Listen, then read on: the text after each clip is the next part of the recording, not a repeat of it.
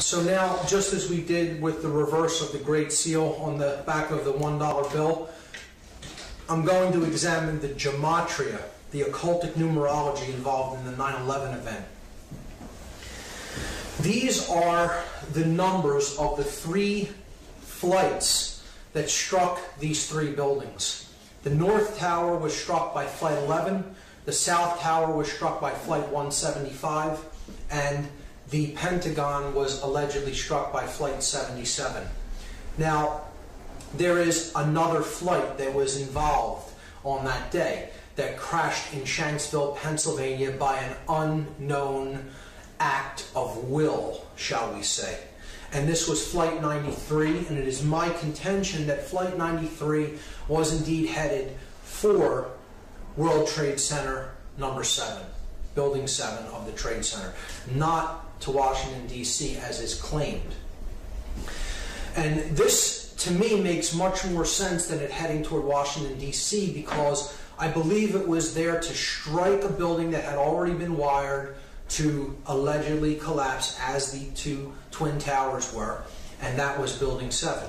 And, and uh, the, the flight not making it to that building meant that they had to make a decision about whether to pull that building or to allow it to stand, and we know what they chose.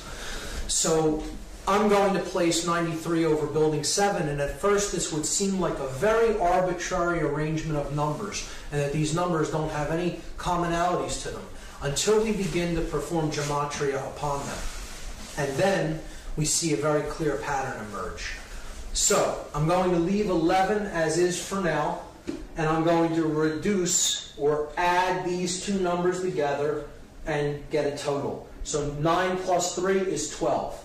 1 plus 7 plus 5 is 13, and 7 plus 7 is 14.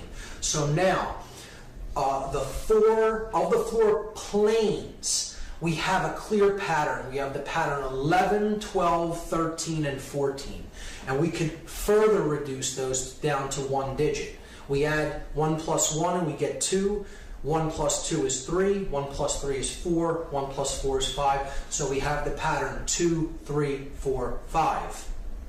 When we add those together, 2 plus 3 plus 4 plus 5, we get the total 14. And again, there's that symbolic number again that totals 5, that is about the five elements earth, air, water, fire, and spirit. But it is the separation of them, the 1 and the 4, the spirit and then the four elements. This is the 14th level of that pyramid where the light is at, the 13 levels of stone, and then the light at the top, the 14th level.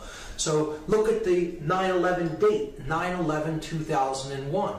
You add up all of these numbers, 9 plus 1 plus 1 plus 2 plus 1 in 2001, and you get 14 again.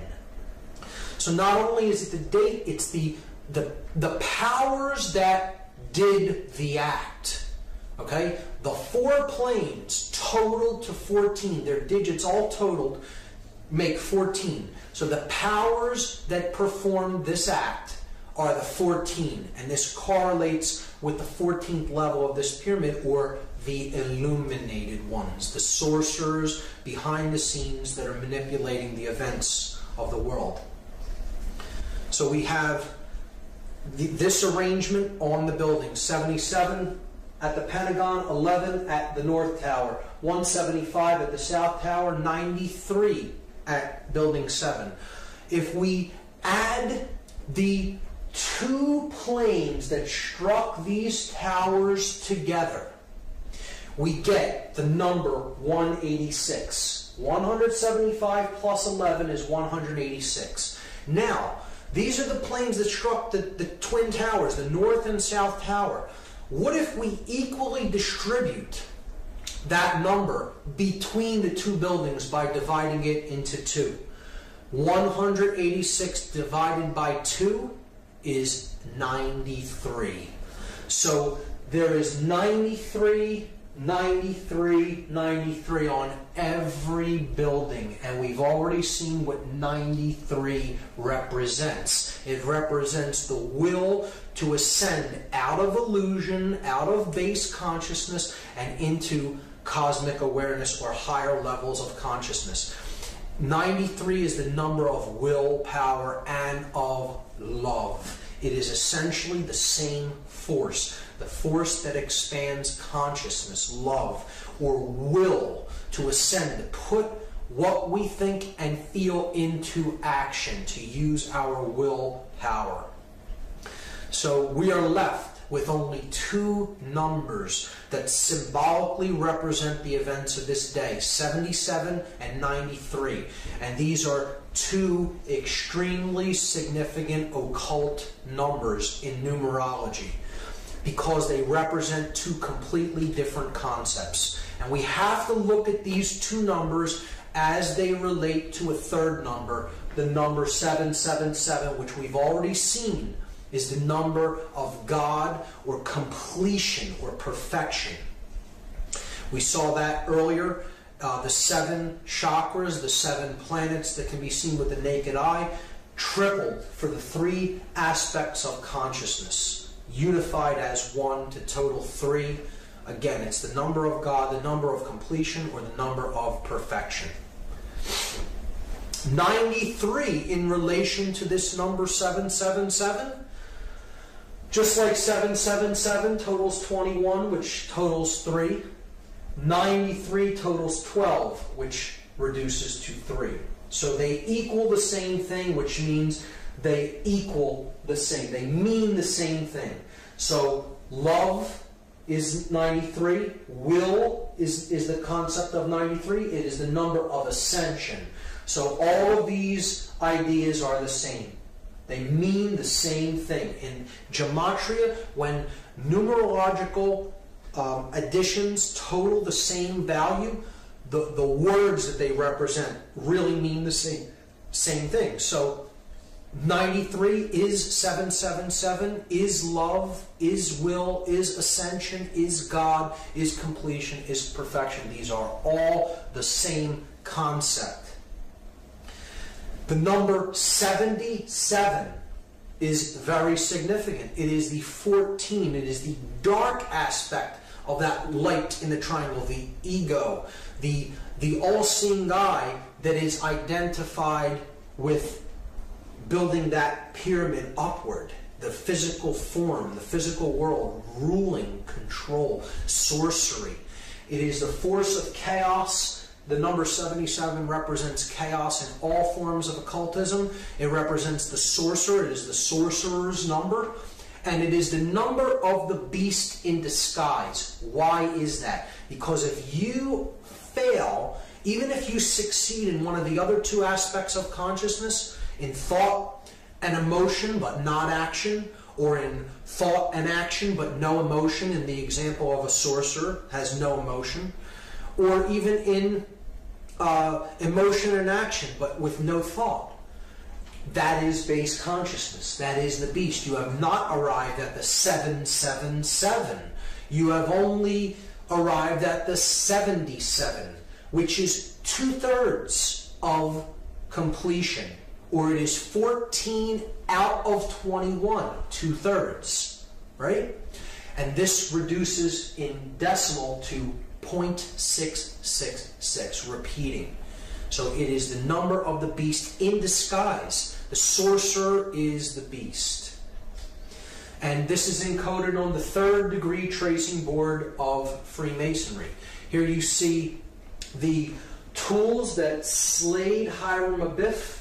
He is finally struck with the mallet, representing ignorance, the light going out, the third eye being struck put into the coffin, okay? The coffin is the spirit, where Hiram Abiff, the uh, H, H, H, hey, hey, hey in Hebrew, representing 555, Hiram Abiff's number. He is in his coffin because he is the spirit, he is the truth, he is the light, and he is the, the, the skull and bones is placed on top of the coffin symbolic of the sorcerer. The sorcerer who conquers his spirit so that the skull, cleverness, thought and cleverness, left brain cleverness, plus the will to act reigns over the spirit. The sorcerer has cleverness, he has the will to put his cleverness into action, but the, he has no conscience. The conscious, conscience is entombed in that coffin. And an individual such as this is headed west. They are headed toward the realm of darkness and death, to the west, not toward the realm of light, to the east. And uh, here, symbolically, is the sprig of acacia, and that represents the hope of resurrection in Freemasonry. So, this is the hope that one who has destroyed their own spirit through their, their usage of their intellect and their will to act in an egoic fashion may indeed still be able to resurrect the spirit and come to a place of moral uprightness and conscience. So that is what this tracing board represents, and it is the third degree tracing board. It is saying you may now be initiated into some of the mystery, into some of the knowledge, but you must use that with spirit intact and not use it as a sorcerer. Otherwise, you are headed west and you are not headed toward the true realm of light which lies to the east. And I think that's a, a great uh, uh, allegorical um, explanation for morality. And we see, therefore, that the two numbers that this ritual uh, reduces down to is 77 and 93, and the positions that they are in is all telling. The, this, the, the, the purpose of the ritual is so that the sorcerers that are consider themselves the all-seeing eye of consciousness, okay, are destroying others' ability to find truth, to give birth to conscience, and to rise in consciousness. And they're destroying that ladder to the higher realms of consciousness. Or if we replace 77 and 93 with their symbolic analog 77 the number of the beast in, in disguise 93 another variant for 777 the number of god. Look at what this ritual is really about symbolically. It is about the beast reigning above god the beast becoming god and destroying god. That's what it's ultimately about. That's how dark this ritual really is it is about the, the ego and illusion conquering the spirit and conquering higher consciousness. We can see that it is encoded in the date itself. 9 11 reduces to 9 2. We're just adding the two ones together. And there we have symbolically the entire ritual encapsulated in the name. 9 11 is 92. See, it is not 93. It's one short of love, of ascension, of will, of God. It is falling short of the divine. That's what this whole event was about.